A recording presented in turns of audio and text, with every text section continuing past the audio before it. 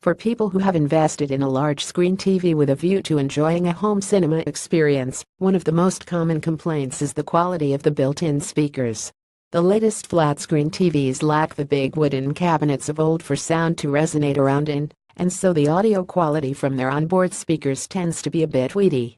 Most therefore look to add a soundbar or external speaker system to improve the experience. Edifier is a company that always seems to manage to produce interestingly styled speakers at the same time as delivering decent sound quality.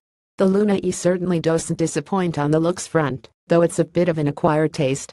It's also big, the subwoofer is like having a life-size deep-sea diver's head emerging from under your floorboards.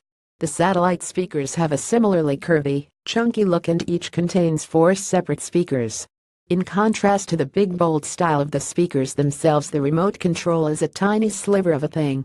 Our test system came in a smart piano black finish, but the E is also available in a rather striking bright red. Setting up is straightforward, and the design means that you avoid some of the tangle of cables that is inherent in most multi-speaker setups. The satellites are wired together and power, plus an optical or 3.5mm audio input, goes to the right speaker. The subwoofer though connects wirelessly, there's just a power lead neatly hidden underneath. While this does mean you need two power sockets it does leave you free to place the subwoofer some distance away from the rest of the system without having to worry about hiding cables. There's Bluetooth 4.0 connectivity too, so you can stream music from your phone or tablet. The one drawback here is that the button you have to press to pair the system is hidden away on the bottom of the subwoofer.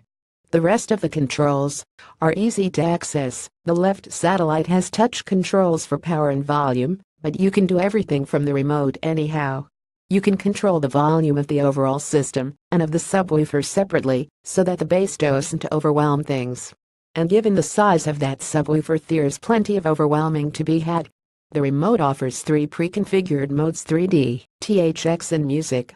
3D creates a surround sound effect although it seemed to make the mid-range a bit weedy. THX is the best compromise for most uses, adding an extra dimension to watching movies and TV, bringing out things in the soundtrack you won't notice on standard TV speakers.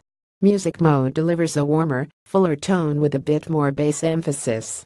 The Edifier isn't a cheap system, costing $499.99 in the US, or £399.99 in UK. The satellites are available to buy separately if you want, but to do so would be to miss the point as it's the solid bass sound from that subwoofer which makes the system. If you need decent sound quality and you can live with the sub-aqua style of the Luna E then it's well worth considering. More information can be found on the Edifier website.